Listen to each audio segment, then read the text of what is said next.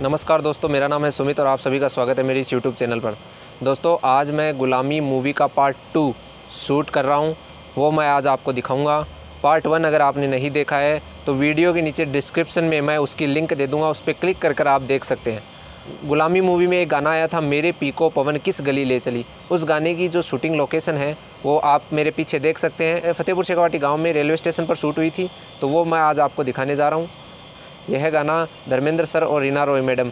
इनके ऊपर फिल्माया गया था और रीना रॉय मैडम है, वो धर्मेंद्र जी की याद में ये गाना गाती है। तो आज मैं वो पूरा गाना आपको दिखाऊँगा। एक दो दृश्य और हैं इस गाने के अलावा। नसीरुद्दीन साहब की बारात की विदाई होती है और धर्मेंद्र सर को यहाँ से जब पकड़ के ले जाया जाता है जेल के अंदर तो वो सीन भी यहाँ फतेहपुर शेखावाटी के इस रेलवे स्टेशन का ये आशा करता हूँ आपको वीडियो पसंद आएगी। अगर पसंद आए तो वीडियो को लाइक करें, वीडियो को शेयर करें, चैनल को सब्सक्राइब करना न भूलें।